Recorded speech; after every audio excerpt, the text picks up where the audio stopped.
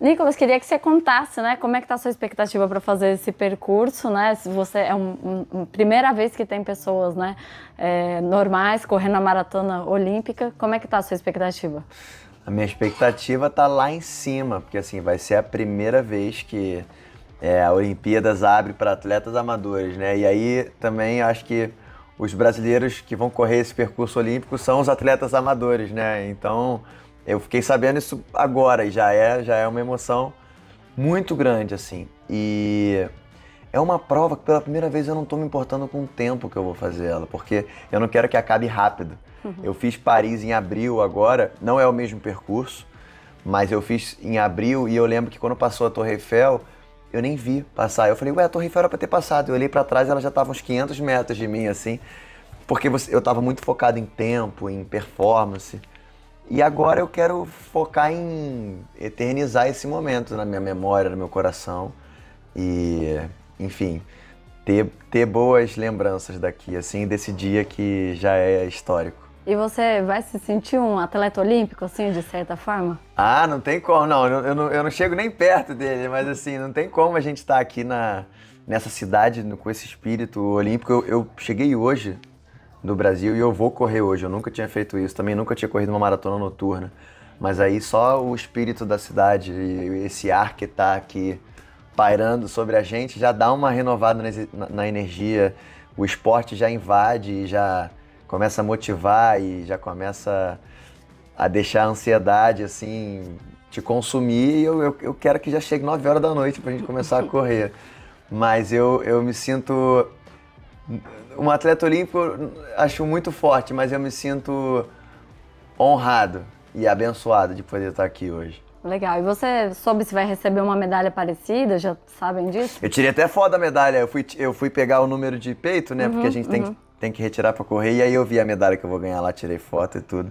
Daqui a pouco ela tá aqui. É, vai ser quase que praticamente igual os atletas aí recebendo também. É, quase. É, não. A, a, o, você pode. Eu, eu, vou tratar igual, porque assim, a gente. A medalha eu penduro na minha casa, fico olhando para ela todo dia.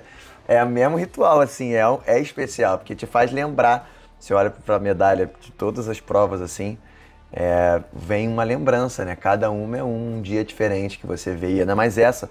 Eu acho que correr vai ser a parte mais fácil, porque chegar até aqui com voo cancelado, com isso tudo, uhum. foi a parte mais difícil. Então agora é só curtir o que eu vim para fazer, sabe? É, você falou que dessa vez está mais preocupado em curtir o momento curtir. e tudo mais. Mas você fez alguma preparação especial para essa? Até percurso diferente, a gente soube que tem bastante subidas e tudo bastante mais. Bastante subida. Então, eu fiz a minha última maratona foi em abril. Né? Então já tem aí quatro meses. E aí desde então eu fiz duas meias maratonas e o meu ritmo de treino ele diminuiu um pouco a intensidade por conta das gravações da novela, uhum. né? Então ainda mais agora que a gente não estreou, a gente estreia mês que vem. Então é o ritmo de gravação é mais intenso ainda para a gente estrear com bastante capítulo é, é já editado e já pronto.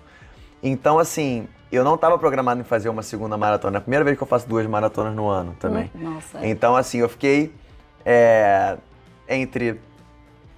Eu tô aqui gravando, mas também tem um momento histórico para acontecer. E, eu, e aí eu topei vir, mas é, eu acho que não, não focar em tempo me ajuda também a, a curtir e levar esse momento com muita leveza, assim.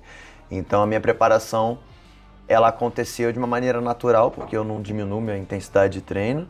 É, mas também com, com o ritmo de gravação eu me permito é, levar com mais leveza essa prova, assim. Quero, se eu quiser parar para tirar foto, eu vou parar. Não tô nem aí, sabe? Eu quero Sim. só botar a medalha no peito depois. Legal. E você sempre curtiu esporte? Sempre acompanhou Olimpíadas? Sempre. Não, em, lá no Rio, 2016, eu fui. Ah, eu fui em levantamento de peso olímpico. Eu fui, eu fui na seleção brasileira feminina também. É, sempre, sempre. O esporte sempre fez parte da minha vida. Eu comecei a correr com minha primeira prova de 10 quilômetros, eu tinha 15 anos de idade. Não é normal você ver um menino de 15 anos fazendo uma prova de 10 quilômetros na rua. Sim. E aí, Opa, tá vendo? Sapatilha. E aí, tá querendo sair correndo. E aí, e aí eu, eu sempre levei isso, assim. A corrida sempre já tem mais de 10 anos que está presente na minha vida. Então, nossa, o que eu tenho de medalha é muita coisa, assim. Legal. É.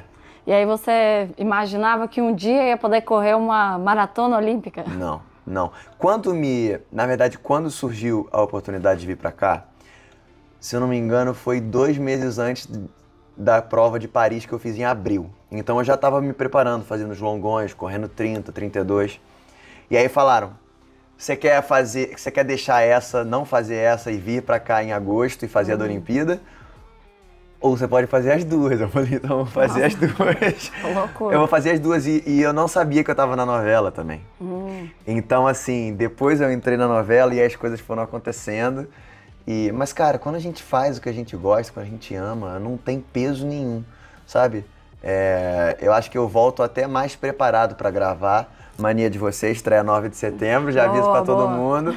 E você volta mais preparado, você volta mais, você volta acho que com as energias renovadas assim. É quase que uma rotina de atleta de alto rendimento, então conciliar a gravação com o esporte, né? Como é que é isso para você? É, eu sempre eu, eu gosto de chegar para gravar já tendo feito alguma atividade física. Isso uhum. já é um ritual meu, assim. Eu sinto que eu, o meu dia rende mais, eu chego mais bem preparado, mais bem humorado também.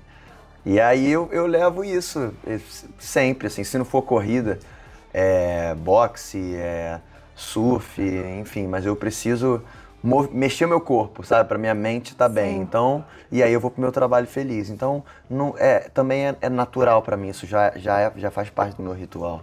Legal. E quem que vai estar tá aí te acompanhando hoje? Qual que é a importância de ter pessoas te apoiando para isso? Quem vai estar aqui me acompanhando hoje é uma pessoa que já esteve aqui em abril, uhum. que me viu chegar na minha primeira maratona.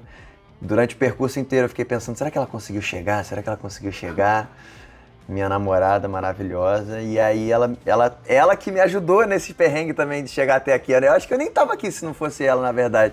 Porque eu comecei a ficar, sabe quando você fica, caraca, então não vou conseguir chegar, não sei o que. Ela acalmou meu coração, que ela tem esse superpoder. E aí, enfim, as coisas foram dando certo, assim. Bom. E, e vai ser a segunda vez que ela. Vai ser a primeira vez na minha vida que eu tô fazendo tudo isso. Correr à noite, chegar no mesmo dia da prova, correr duas maratonas no mesmo ano. E ela tá, e ela tá comigo nesse momento especial também, único, assim, histórico. Legal. E vai dar tempo de você ver alguma outra modalidade ou não? Ia dar, eu ia chegar ontem, eu ia conseguir chegar, eu ia conseguir ver. Eu ia conseguir ver o atletismo ontem. Oh, legal. E, e, quase ia dar para ver também a, a, o futebol masculino. Hum. O futebol feminino eu vou assistir da televisão aqui, porque eu preciso descansar para depois correr à noite, porque acho que acaba, ainda mais se tiver pênalti, se tiver coisa, Sim. vai alongar ainda mais, então é perigoso ir. Mas agora eu vou, eu vou descansar, mas eu vou ver. Por isso que eu não vou conseguir dormir à tarde, por causa da ansiedade também, que eu quero ver as Imagina. meninas jogando futebol. Boa. Entendeu? Entendi, é isso. E ver a Marta receber, receber o nosso primeiro ouro. É, boa. É Pronto. É isso, gente. Obrigada. Show? Show. Fechou. Um beijo. Valeu. Uau.